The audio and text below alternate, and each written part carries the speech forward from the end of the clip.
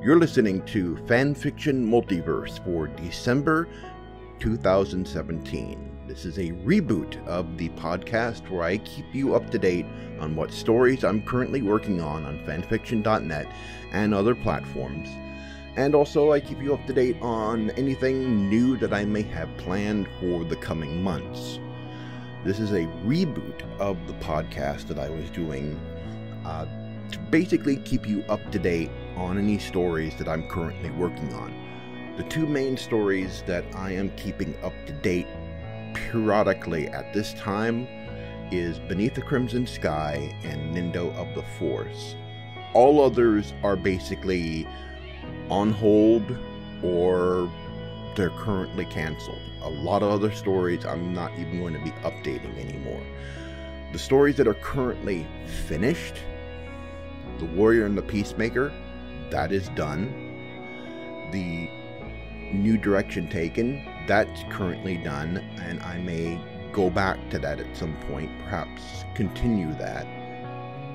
Uh, most everything else is done or canceled. Now, the reason why I am uh, discontinuing a lot of stories, I've basically stated the reason before. Back when I wrote them, I was suffering from depression, and I wrote a lot of those stories in order to cope from it. it. It was basically a method of escape for me. And I'm in a different place right now, you know, mentally, emotionally. And so when I went back to try and continue those stories, I felt this is coming from a different place for me, and I would have to completely rewrite these stories in order to continue them. So, a lot of stories that I've got aren't going to continue.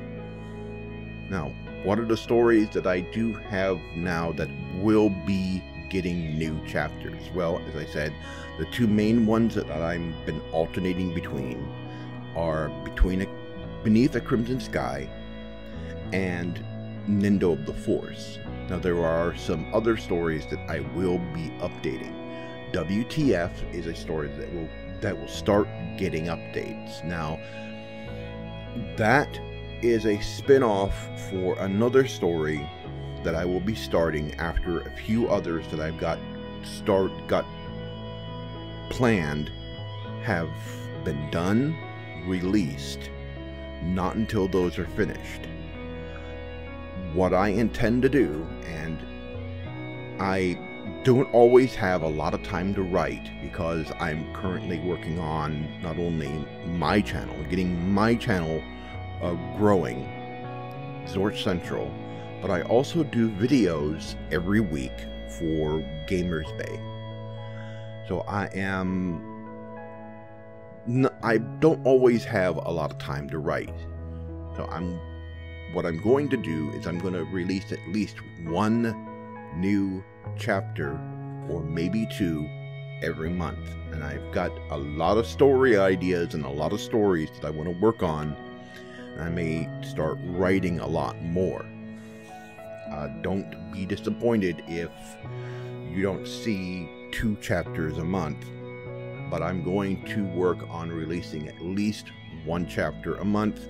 There will be a new Nindo the Force out this month soon. I've started working on the next chapter, so I will have that out before Christmas. Uh, last month, I did get out, uh, I believe it was last month, I got out the first chapter of The Promise. That is a spin off of Beneath the Crimson Sky. That's intended to be a short series, a short story. Uh, it will be maybe 10 chapters long. It is it concerns the story of Baron and Arya, who are two new characters that were recently introduced in Beneath the Crimson Sky. It tells the story of who they are, where they come from, you know, their whole backstory. So if you want to learn about more who they are, where they come from, what their motivations are, then you will want to read The Promise. And that's one of the stories that I will be continuing to update over the next several months. Another story that I have currently planned is a spin off similar to The Promise is Outer Rim Redemption. Outer Rim Redemption is a spin off of Nindo of the Force. It is a prequel also, like The Promise. The Promise is set five years before the beginning of Beneath the Crimson Sky. This one, Outer Rim Redemption, this takes place more than a thousand years before. This takes place at the dawn of the dawn of the of the Republic, the one that fell at the end of the Phantom Menace, or at the end of um, Revenge of the Sith. It's set before that. It's set just as the Sith Empire falls and the New Republic forms around that time. And it is a Ranma centric fan fiction. It's going to be really good. It's going to be dark. It's not going to be your typical Ranma becomes a Jedi sort of story. This one's different. I've uh, shared some of the ideas for this on the Jim Bader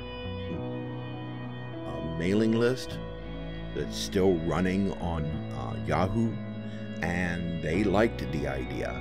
This is a much darker take on a Ranma half Star Wars crossover. Very dark. Uh, basically, what if, and this is going to be a small spoiler, what if Ranma, instead of being a Jedi, what if Ranma was a Sith? And what would happen after he stopped being a Sith. This is the story of an older Ranma. This is not him in his teens. The story starts with him in his teens, but there is a time skip, and then he's somewhere in his late 20s, early 30s. So this is an adult Ranma dealing with this traumatic event in his life and I think you're going to really like what I've got planned for this. It's not going to be some massive, epic battle story. This is going to be a personal story for him, for the things that he went through because of this experience. And I think you're really going to like it. Now, when I said I'm going to continue the story WTF, that story is a sort of spin-off of another that I am going to bring back, and that is Something Hentai This Way Comes. Now, the story is currently up on fanfiction.net, but it's in a different form. That version of the story is going to go away. I had some plans for that one. I had things planned out for that particular story idea, but a lot of them started falling flat. And then I had this new idea. Now, this new idea, I was going to, what basically what I was going to do is I was going to discontinue the whole story and start a new one called The Succubus Diaries. But I liked the name Something Hentai This Way Comes so much better but I didn't want to write two stories of the same premise at the same time. So I decided to basically restart that series with that name.